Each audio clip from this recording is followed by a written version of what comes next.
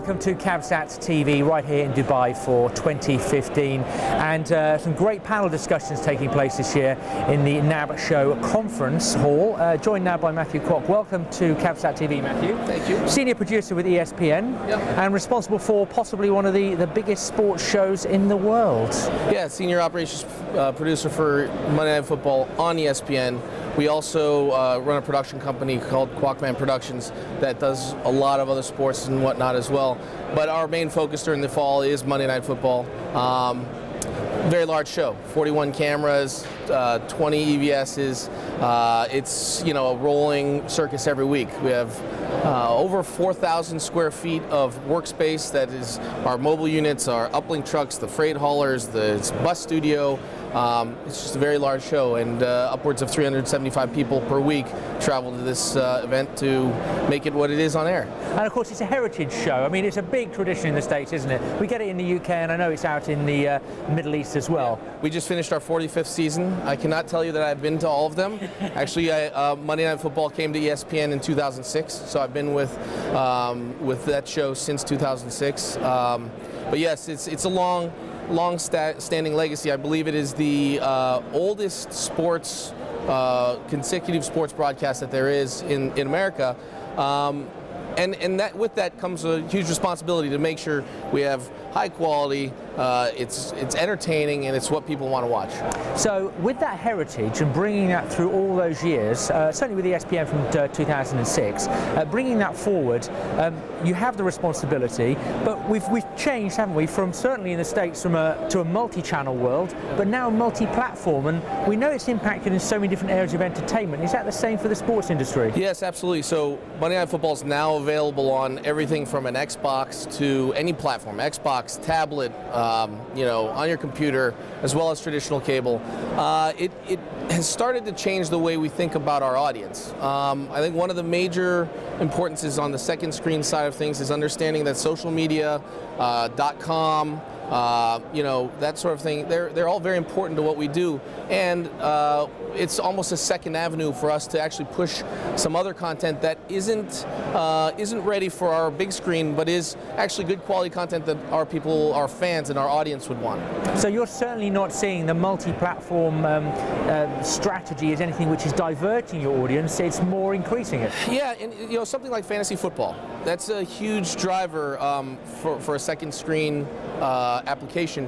What what happens is, even on a game where there's a 30 point spread, normally people are clicking off the TV. Okay, but actually they they really because of that second screen, because of that fantasy league, they actually want to watch their individual players.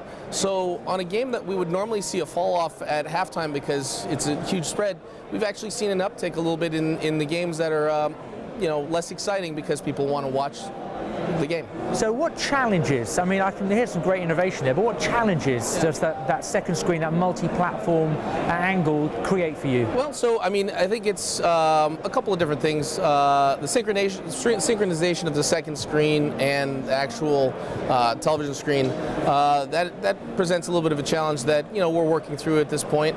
Um, I think also rights. Um, you know, in the last set of rights deals, more and more is focused on um, on the second screen and uh, digital content, uh, and I think the leagues as well are realizing that it's more valuable. So I think uh, just understanding tho- those rights and how valuable they are to us, I think that's uh, a challenge, and uh, but it's exciting moving forward.